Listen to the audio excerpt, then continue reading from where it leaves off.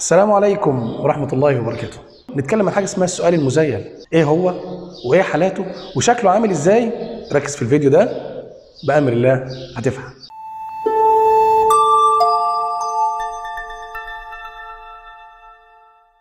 السلام عليكم ورحمة الله وبركاته. إيه هو السؤال المذيل؟ هنديله تعريف كده يا جماعة السريع. هو سؤال يأتي في ما بين قوسين كده ذيل الجملة. الخبرية؟ بيجي في آخر الجملة الخبرية. عشان كده يا جماعة سميناه سؤال مذيل. مذيل جاي في آخر الكلام. لا ومش أي كلام في آخر الجملة الخبرية. بغرض التأكد من شيء ما. لو جيت قلت لك مثلا نص كده الدرس ده سهل. مش كده؟ عارف كلمة مش كده دي؟ هي دي السؤال المزيل. بقول لك الدرس ده سهل. جملة عادية خبرية أهي. مش كده؟ كلمة مش كده دي اللي إحنا بنقولها بالبلدي كده أو بالعامية الدارجة الغرض منها إيه لما تيجي تقولها في آخر الكلام؟ إنك عايز تتأكد من ظنك أو مما تعتقده. هو ده الغرض من السؤال المزيل. بيجيني في آخر الجملة. بعد ما تقول خبر بيجي في آخرها علشان خاطر يتأكد إن الخبر ده صح أو لأ. في شوية حاجات مهمة قوي في السؤال المزيل دي لازم تعرفها.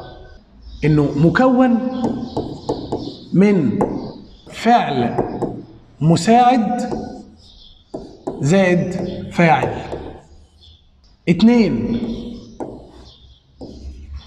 يأتي في آخر الجملة. ثلاثة الفاعل لابد وأن يكون ضمير يعني ما ينفعش اسم. أربعة. لابد من اختصار النفي مع الفعل المساعد اللي هو ده يعني. يعني ده لو هيجيني منفي لازم النفي بتاعه يكون مختصر خمسة الجملة الخبرية المثبتة سؤالها المذيل اللي هو هيجي في آخرها يعني منفي والعكس يعني إيه والعكس؟ يعني الجملة الخبرية المنفية سؤالها المذيل هيكون مثبت. ستة. الإجابة على السؤال المذيل تكون عكس حالته. يعني لو السؤال المذيل ركز معايا بقى. لو كان جاي لي مثبت تخيل إن الإجابة عليه طبعا يا جماعة بحط علامة استفهام في آخره ما سؤال. الإجابة عليه بتكون بنون. طيب لو كان السؤال أو لو كانت الجملة الخبرية أو كان السؤال المذيل آسف لو كان السؤال المذيل منفي السؤال المذيل ها منفي فهيبقى الإجابة عليه بيس. ركز بقى في شوية التفاصيل دي يا جماعة هي الأساس اللي هنشتغل عليه بعد كده. شوية أمثلة بقى يا جماعة كده عشان خاطر نطبق عليهم الكام جملة اللي إحنا قلناهم دول بالعربي. بعد ما توحد الله وتصلي على حضرة النبي صلى الله عليه وسلم. لو جيت وقلت لك علي is studying hard. اعمل بقى إحنا كده إيه؟ comma. ادي جملة يا جماعة عندك اهي. فيها فاعل فيها فعل مساعد فيها فعل plus ing وفيها عندي حال ده جملة خبرية كاملة خلي بالك. جملة خبرية كاملة الأركان. لما نيجي نعمل سؤال مذيل بقى هنيجي في آخرها. شايف أنت بعد ما عملنا ال comma دي؟ هتيجي أنت تعمل إزاي بقى؟ القاعدة بتقول لك إن بتجيب الفعل المساعد ثم الفاعل. طب الفعل المساعد أهو. مش هو ده يا جماعة؟ مش ده الفعل المساعد؟ حطيته أنا هنا بس بص بقى شوف اللي حصل عندي. isn't إيه اللي حصل؟ هو كان هنا يا جماعة فعل مساعد مثبت صح؟ أنا بقى هنا بقى فعل مساعد بس منفي. يبقى از بقت ازنت طب لو في isn't هتبقى is. طب wasn't was. طب was wasn't. طب can can't. طب can't can. طب will won't طيب uh, won't will. uh, وصلت اللعبة بتاعت الفعل المساعد دي؟ خلص كده السؤال المزايد لا طبعا لسه في حاجة تانية الفاعل. مين الفاعل؟ يعني أنا ما بجيبش حاجة من عندي يا جماعة. هو أنا بجيب السؤال المزايد من قلب الجملة نفسها الخبرية اللي قبله فالفاعل عندي أهو. أخينا علي ده. ده الفاعل. هو نوعه كده اسم صح؟ طب تعالى بقى في الآخر هنحط هي.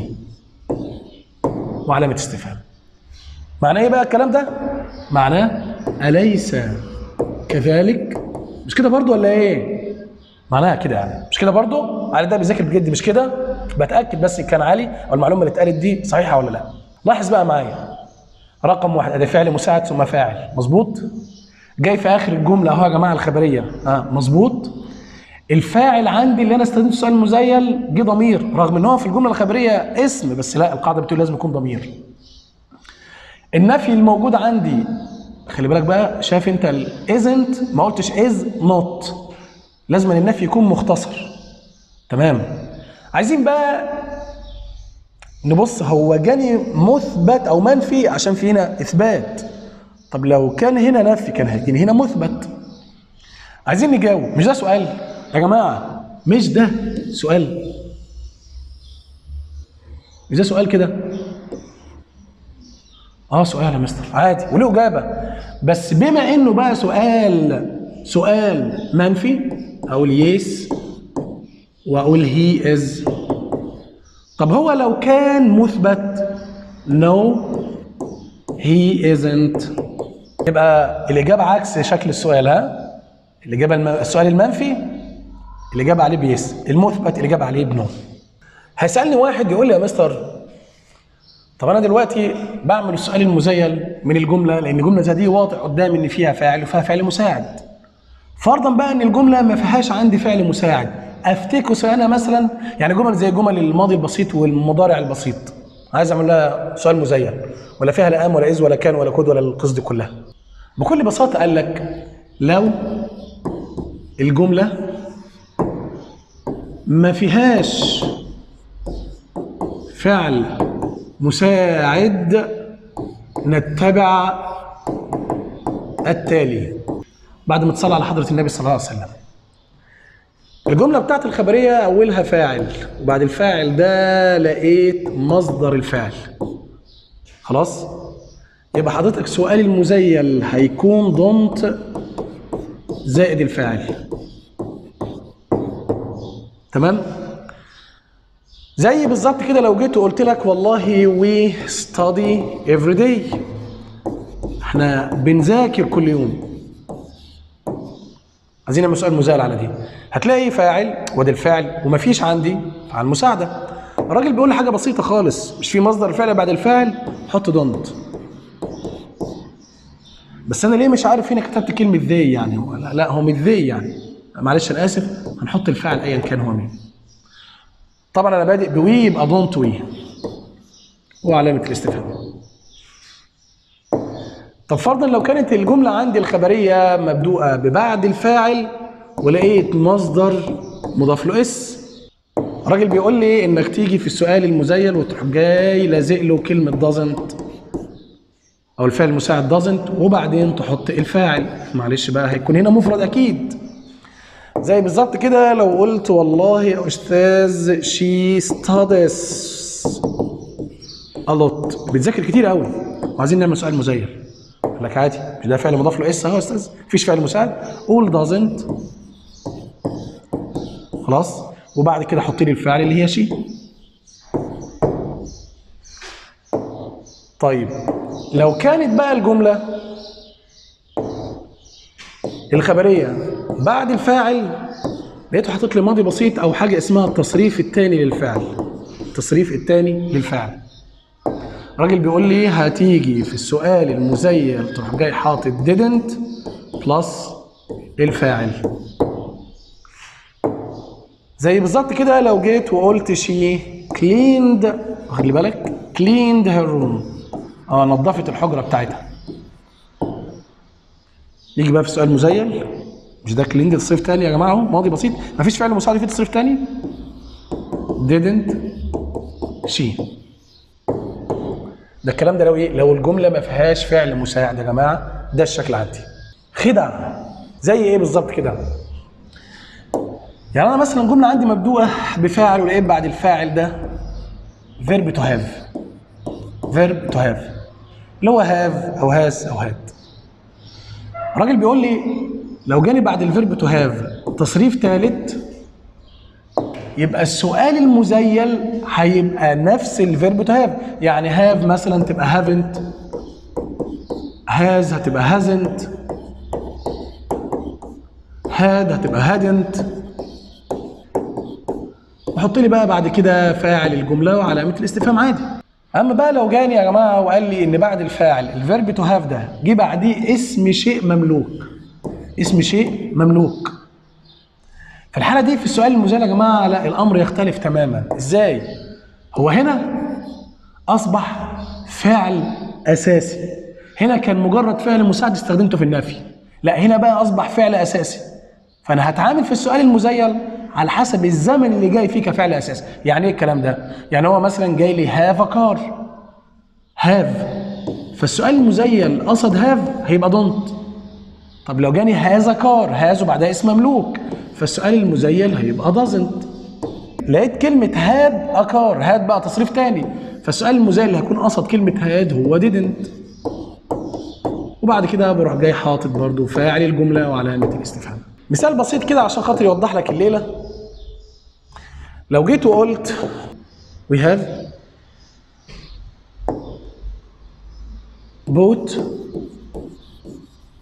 a car اشترينا عربية. جملة زي دي لما نيجي نعمل سؤال مذيل عليها بص بقى حط spot كده على have هتلاقي إن في بعد have تصريف ثالث يعني إيه هنا فعل مساعد؟ في الحالة دي أعمل إزاي؟ هروح جاي كلمة have نفسها أستخدمها في السؤال المذيل haven't والفعل عندي we فأقول haven't we we have a car عندنا عربية. إيه بقى اللي حصل هنا؟ مفيش فعل أساسي. ف have هي أصبحت الفعل الأساسي. ففي الحالة دي أستخدم haven't قال لك لا. انت حضرتك تروح جاي قايل don't we طب ليه don't اصل هي have المضارع جاية مع الجمع يا جماعة ودي مضارع بسيط. امال كان إمتى استخدم doesn't لو في has هنا بعد المفرد مكان we طب إمتى استخدم didn't هنا؟ قال لك لو كانت had ديت had لو كانت have دي had تصريف تاني. في شوية اختصارات بقى. حقيقي يعني لو ما انتش مركز ما تاخدش بالك إن السؤال المزال ده ممكن يبقى عامل إزاي. اللي هي منهم مثلا يا جماعة الابوستروفي دي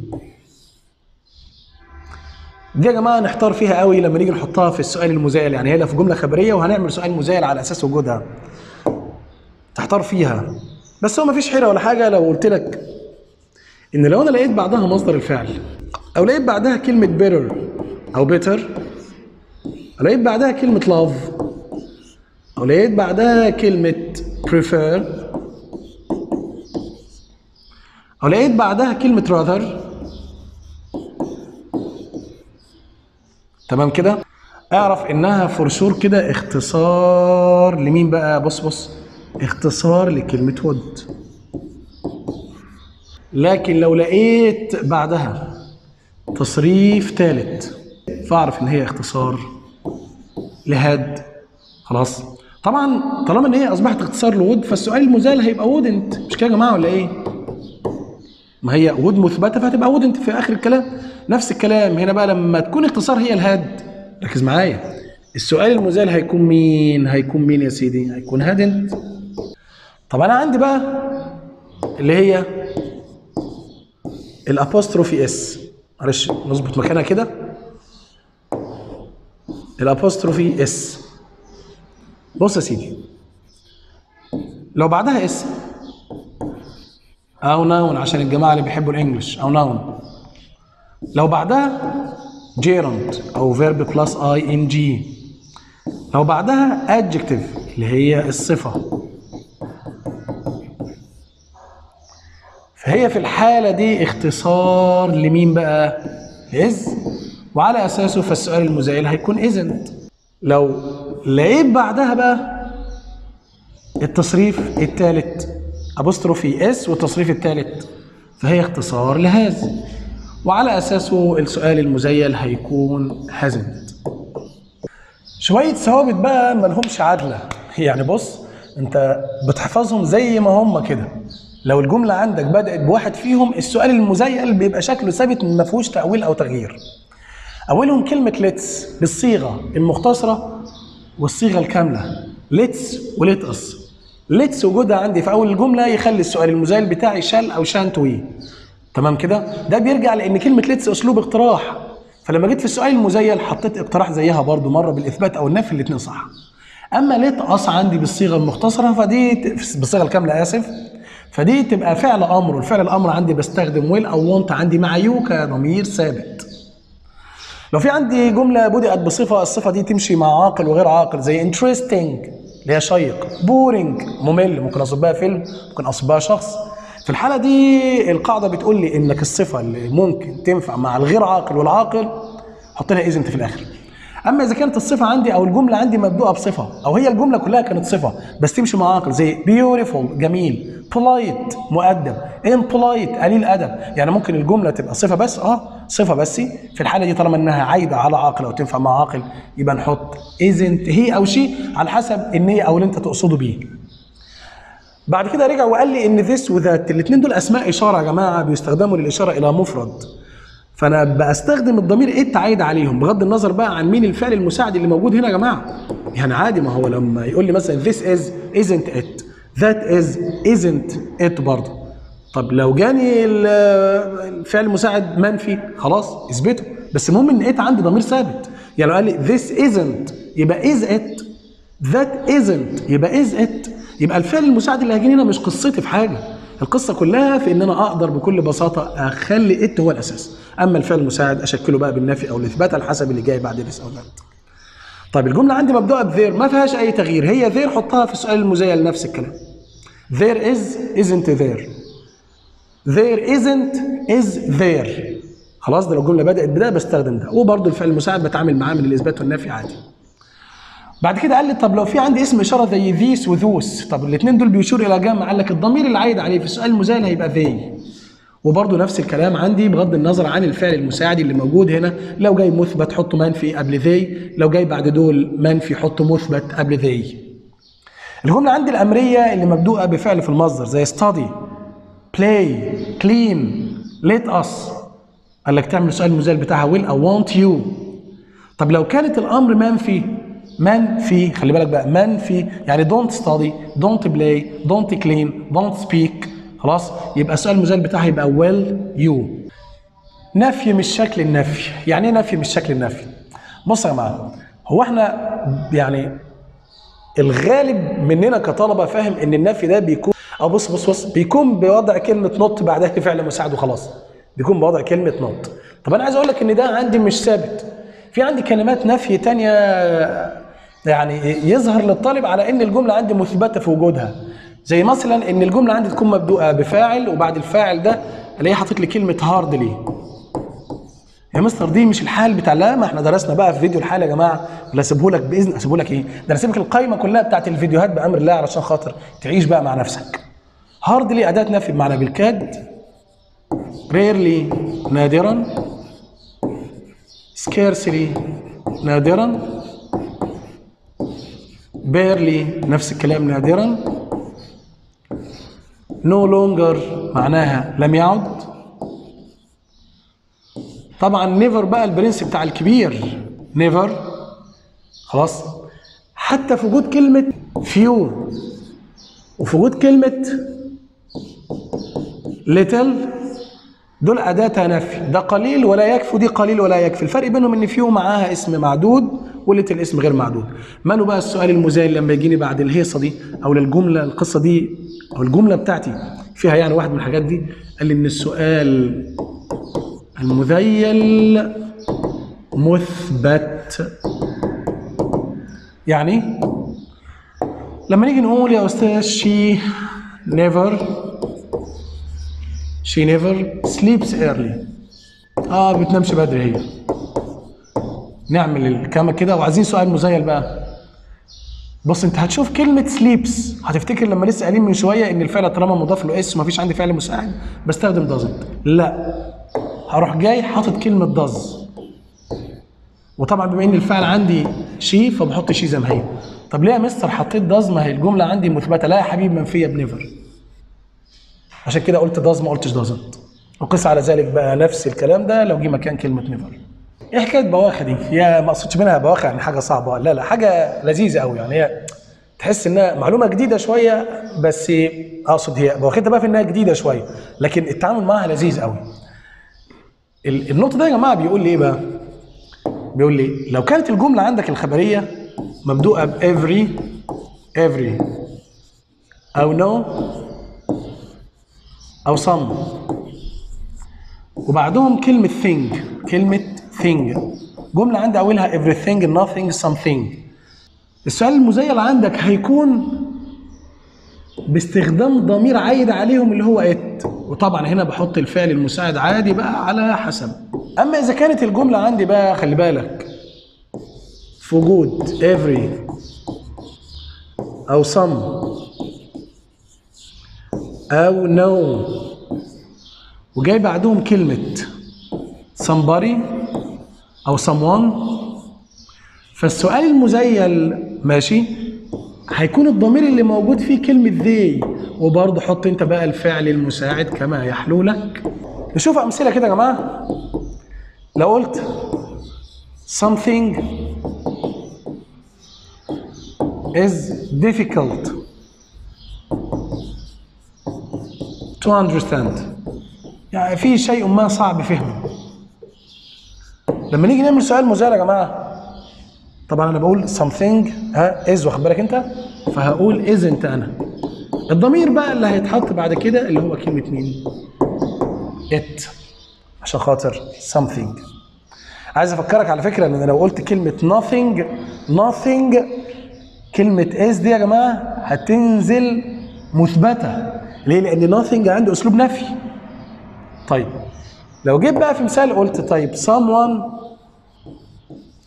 someone is at home. شخص ما موجود في البيت. ما أعرفش بقى إن كان مفرد آه، مؤنث ولا مذكر. خلاص أو واحد أو أكتر من واحد. في الحالة دي يا جماعة شايفين إز؟ بضطر أقول aren't. معلش كده. بضطر أقول aren't they. وعشان أسهل عليك الحوار قوي أنت شفت كلمة someone ماشي؟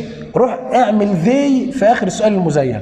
وبالنسبة للفعل المساعد تعالى بقى شوف يا سيدي الفعل المساعد اللي جاي في الجملة الخبرية ده مفرد هات الجمع منه وحطه قبل they. بس يعني شفت someone حط they. ارجع بقى للفعل المساعد شوفوا مين. ده is هات الجمع منه يبقى are وطبعا هتعكس الحالة بتاعته يعني لو هو is مثبتة يبقى aren't منفية isn't منفية يبقى are مثبتة. هنا بقى يا سيدي نكون خلصنا درس السؤال المذيل. أتمنى يا رب تكون فهمت حاجة. السلام عليكم ورحمة الله وبركاته.